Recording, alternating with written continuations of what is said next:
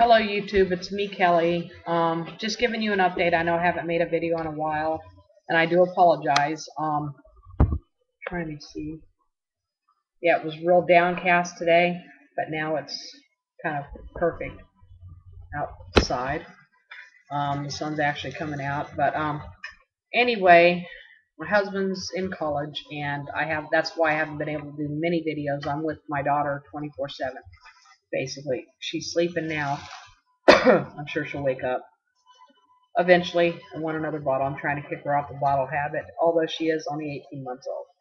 But it gets tiring getting up three or four times at night when she's 18 months old for, you know, a small four ounce bottle, you know. Anyway, I wanted to do a review on white wheat. They have these in hamburger buns and hot dog buns. Now, the hot dog buns the other ones are gone, and I would have told you, but they're only one point on the momentum plan, so probably two points on the points plus. But on the hot dog buns, I love these because it's it's um it's a grain group. It's white wheat, I guess. It's they're by Healthy Family. It's white wheat.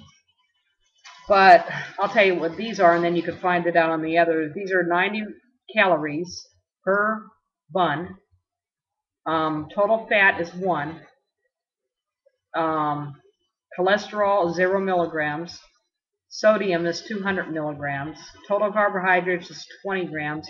Dietary fiber is 4 grams, and sugar is 2, and protein is 5. Now, the reason I gave that all to you because a lot of you guys are on regular Weight Watcher or the Points Plus, which I'm not. So, one of these would be 1. The same, the same with the uh, hamburger buns and I think that's better. They're you know they're really I don't even know what we pay for them, but they're not expensive. So it's basically a wheat bread, but it looks white.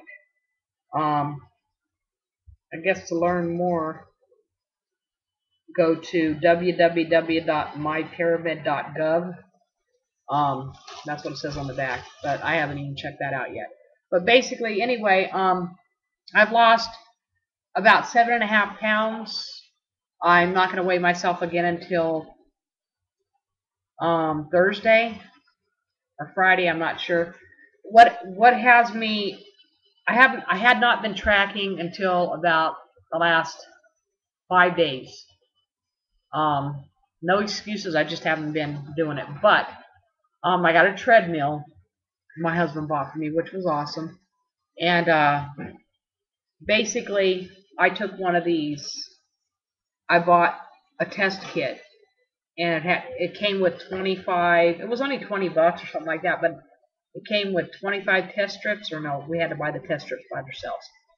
But I'm not diabetic, but the numbers that I got were like my first test was a fast test.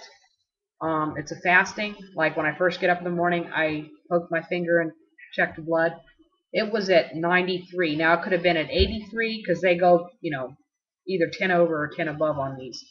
So it could have been 83 or could have been 103. So I was like, okay.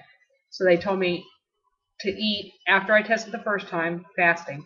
They told me to test um, or have a, either a boiled white potato or a cup of white rice. So I had a cup of white rice, and then an hour after I ate that, I tested, and I was at, ooh, Where's my papers? Anyway, I was at 140, 152, so it was either 162 or 142. So that kind of scared me. Then they told me to test another hour later, and I went from 100 down to 152 or whatever it was down to 99. And then one more time I had to test an hour later, and I went down to 90. So it was either 80 or it was 100. So I talked with somebody and they said, no, that's actually normal. It's okay. You're not diabetic. And they asked me my weight and I said, I'm on a, you know, Weight Watchers. They said, but, you know, basically, um, to not to, um, just to keep losing weight because I'm headed in the direction of being diabetic, which I don't want to be. So that kind of kicked me into gear. Um, I know I need to quit smoking as well. I did not smoke a cigarette all day today. I was trying so hard to quit, but I ended up caving in and having one. about 30 minutes ago. So at least I'm trying. And um, basically, I'm still tracking my food. I've been tracking for the last five, six days, something like that. And I've lost about seven and a half pounds. Um, I thought I had it written down. It was between seven and a half, close to eight pounds, somewhere around there. Um, anyway, so Thursday, Thursday, which is today, I had um, one of the buns, which we're out of. These are hot dog buns. I mean, I could use one of these if I have to. But it's only one point. And then I had two pieces of veggie bacon.